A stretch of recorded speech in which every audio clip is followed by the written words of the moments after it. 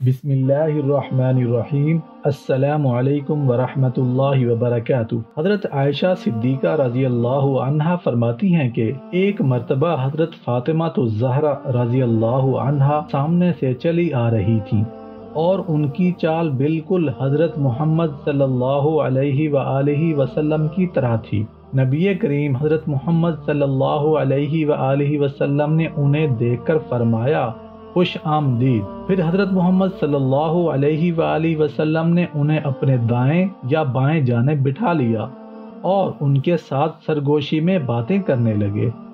اسی دوران حضرت فاطمہ تو زہرا رضی اللہ عنہ رونے لگی۔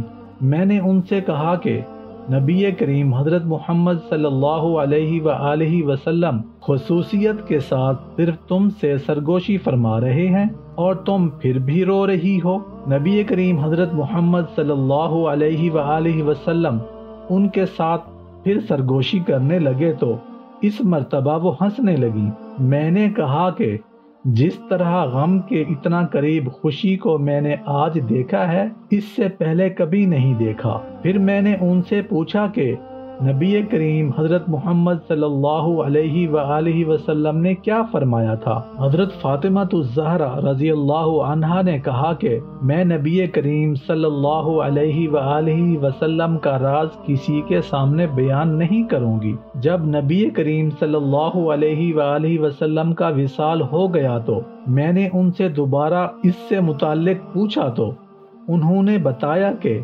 نبی کریم صلی اللہ علیہ وآلہ وسلم نے مجھے سرگوشی کرتے ہوئے بتایا کہ حضرت جبریل علیہ السلام ہر سال میرے ساتھ قرآن کریم کا ایک دور کرتے تھے، جبکہ اس سال دو مرتبہ کیا۔